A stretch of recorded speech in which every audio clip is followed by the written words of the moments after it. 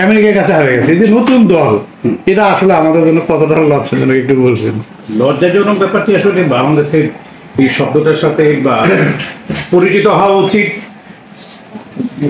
যারা সিলেকশন করেছিল হ্যাঁ, আসলে- এই ব্যাপারটা তাদের চিন্তা করা উচিত প্রথম। আচ্ছা।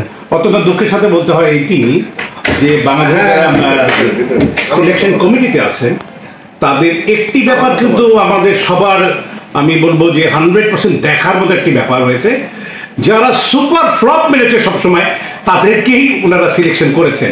এটা কিন্তু অ্যাপ্রিসিয়েট করবার মতো আন্ডাউটলি এবং অ্যাপ্রিসিয়েট করার কারণটি হচ্ছে যে, এটা আসলে আমি এই ব্যাপার নিয়ে আগেই কথা বলতে চেয়েছিলাম। বাট আমি কথা বলিনি। আজকে আমি বলছি অত্যন্ত দুঃখজনক হলো সত্যি যে, আমাদের আসলে ক্রিকেটাররা যারা মোটামুটি ভালো করার চিন্তা ভাবনা করে, তাদেরকে যে কোনোভাবেই হোক কার জন্য কোন শক্তির জন্য সেই সব লোকগুলোকেই সরিয়ে দেওয়া হয় এটা আমার বোধগম্য না। সবচেয়ে বড় ব্যাপার হচ্ছে লাস্ট প্রিভিয়াস যতগুলো গেম হয়েছে সেখানে সুপার ফ্লপ কয়েকজন প্লেয়ার করেছে। তারা কি করে টিমে থাকে আমার একটি প্রশ্ন থেকেই যাচ্ছে। আরেকটি কথা হচ্ছে যে লাস্ট খেলা হয়েছিল জিম্বাবুয়ের সাথে মোস্ট প্রবলি না? রাইট সেখানে সাইফুদ্দিন যে আন্ডাউটে মেমোরি আমি তার নাম উল্লেখ করব পাঁচটা খেলার মধ্যে তিনটা ভালো করেছে, দুটাতে সে ভালো করেনি। তার জন্য তাকে অফ করা হলো। But Saifuddin undoubtedly is a very good allrounder আর তার দু, পাঁচটার মধ্যে তিনটা খেলায় ভালো করেছে দুটাইতে খারাপ তা, খারাপ করেছে, তাকে বাদ দেওয়া হলো। আর যারা লাগাতার শূন্য শূন্য শূন্য করতে করতে অস্থির হয়ে যাচ্ছে তাদেরকে সিলেকশন আমি লিটন দাসের কথা মানে আমি কারও নাম উল্লেখ করতে চাই না। সেখানে তারা সিলেকশন কমিটি যারা আছেন তারা কি করে নিচ্ছে আমি জানি না। সেখানে আরেকজন আমি নাম বলব মিরাজের কথা বলব। Undoubtedly is a very good allrounder তাকে তাদের চোখ কেন পড়ল না? এমনকি আমি ধরে নেব যে অনেক ক্ষেত্রে দেখা যায় যে সবসময় আমরা খারাপ জিনিসগুলোকে তুলে নেবার চেষ্টা করি। আসলে ব্যাপারটি দাঁড়িয়েছে ঠিক সেই রকমই না হলে গতকালকের যে খেলা আমি দেখিনি যদিও। আচ্ছা। বাট আমি শুনেছি। শুনে যদি আমেরিকার কাছে যদি আমরা হেরে যাই তাহলে ওয়ার্ল্ড কাপে যেসব আমরা যেসব টিমের এগেন্সে আমরা খেলব আমার মনে হয় এটা আমার আমার এখন তো আমি শঙ্কিত যে এমন না বিশেষ লজ্জাজনকভাবে হেরে যায় যাতে হারার একটি বিশ্ব রেকর্ড আমরা তৈরি করতে পারি। সেটা হওয়ার সম্ভাবনা আছে।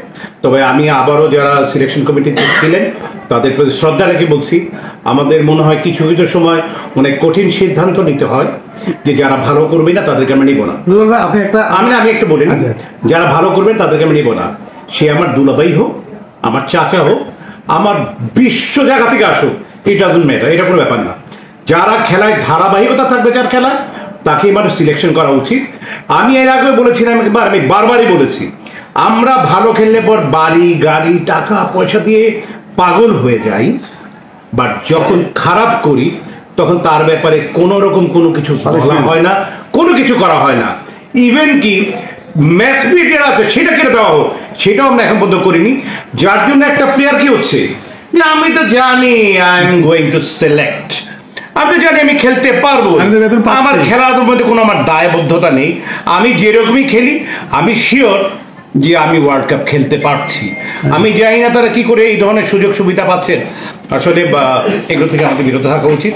আমরা দেশকে ভালোবাসি।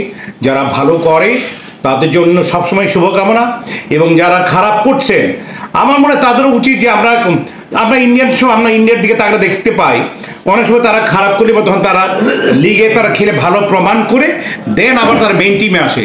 ঠিক আমার মনে হয় ঠিক এইরকমই আমাদের এখানে হওয়া উচিত। তারা যদি ভালো করতে না পারে তাদেরকে বলা হবে তুমি ন্যাশনাল লিগে খেলে আসো খেলে যদি তোমার ধারাবাহিকতা ভালো হয় তাহলেই তুমি এই ধরনের জায়গা আসতে পারবে। আদারওয়াইজ তোমার পক্ষে এইসব দরজা বন্ধ। আমাদের এই ধরনের কোনো সিস্টেম নেই বিধায় যারা পর পর শূন্য রানে আউট হচ্ছে। আমি নাম বলতে চাই না। এরকম অনেকগুলো প্লেয়ার আছে। তাদেরকে আমরা অফ করে দিয়েছি।